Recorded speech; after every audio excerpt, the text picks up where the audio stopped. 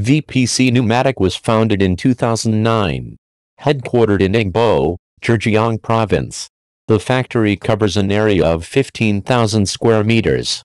Set up five production workshops, three packaging workshops and three warehouses.